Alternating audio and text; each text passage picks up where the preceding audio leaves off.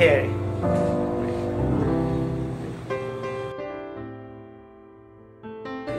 Okay, as the turkey's resting, we got all these beautiful pan, pan drippings, so we want to strain them out into a saucepan to make our gravy. And this is actually natural juices. As you see, there's no, looks like this is all juice. There's no fat on it.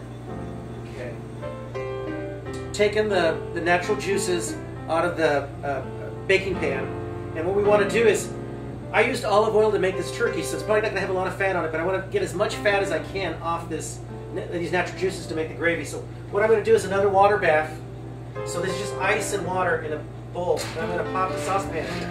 And what's going to happen over time is that the fat is all going to come to the top as it cools. You just skim it off, and you just want to keep the juice that's on the bottom.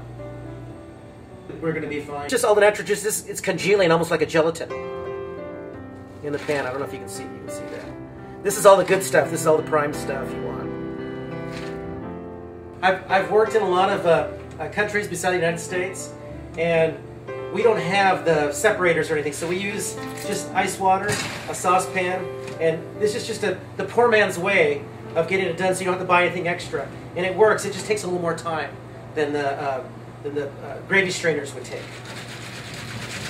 We've just taken out of the bath, it's totally congealed, and as you see there's no fat to skim off. So just doing it in olive oil, real simple recipe with olive oil, it- we didn't really have any fat on it, so it's not only healthy, it's very low fat. Okay, we're bringing the, the, the natural juices up to a, a simmer. And a lot of people now would put butter in it. We're not going to because a lot of people can't really take all the fat that butter has. So what we're going to do is we're just going to bring it up and we're going to add a little water to this. This is probably approximately about a cup. So we're going to add maybe about a quarter cup of water. Just a little bit to water it out a little bit, not, not a whole lot. We're going to bring it to a boil. Once we bring it to a boil, we're going to add a tablespoon at a time of flour. Then we want to continuously stir it until it gets the right consistency or thickness that we would like. And you just do a tablespoon at a time until it gets there, how you want it. Or if you want this to uh, render a little bit more, instead of just putting a quarter cup of water, you can still put a quarter cup of water in, but you also want to put, um, you can put chicken stock in. And I always tell people buy a good quality chicken stock because it tends to be very salty. So, um, an organic, uh, just a, a, deep, a good quality chicken stock, low sodium, if you can't find an organic one. Okay, so we brought this up to a boil. So we're to put a sieve over to sift your flour. And you want to do a tablespoon at a time.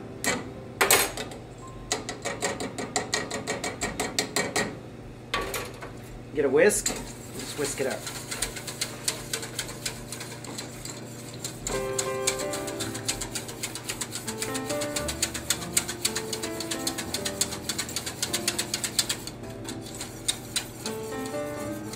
You want to do this on about a medium, medium heat.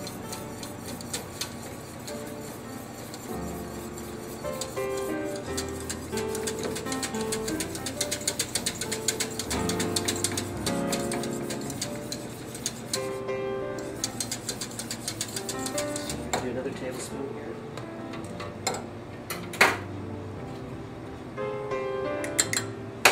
Okay, we're good.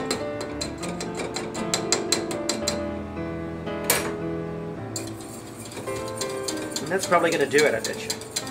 Don't worry about any lumps or anything you get in because we're going to pass it through a sieve before we serve it anyway. So, And if it gets a little too thick, don't worry about it. Just add a little water to it. More water. Really, it's just it's just the the, the oil and then the just some flour, right? Most people would do it a lot differently. See, see how it's bubbling? It's thickening. You can see it thicken before your eyes here. It's starting to bubble. You can tell that it's gotten thicker. I would say it's, for me, it's a perfect consistency. If you want it thicker, you can make it thicker, but I'm going to add a little, just a little more water to it. Just a little tad. Kind of get it.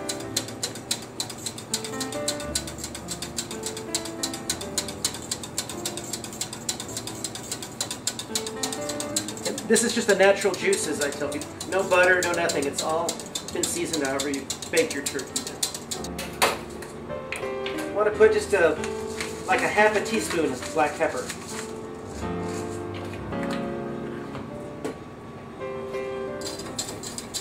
And if you have anybody on a low sodium diet or anything, I wouldn't add any more salt to it. I'll just leave it like that, but if you want a little more salt, you can add a little salt to it. See how thick it see how thick it is? Okay, now you want to put it in whatever container you're going to put it in. Which will probably be another saucepan. And you want to run it through a sieve one more time to make sure there's no lumps in it. So even if you don't stir it enough or you miss, you can still save it here. Here we go, still save it. You see we did a perfect job. There's no lumps. Oh, So we did it perfect, we didn't have to do it. But in case you do ever get any lumps, you just pass it through a sieve and don't panic. It comes out, which is perfect. Pepper adds a little tanginess to everything, and it just adds a, it enhances the flavor. It's a lot like salt in a lot of ways, but without the sodium in it. It just gives you that little. Uh, it's actually very high in I forget what vitamin it, uh, vitamin it is, but it's supposed to be good for heart people that have heart disease. So black pepper, try to put on everything as far as that.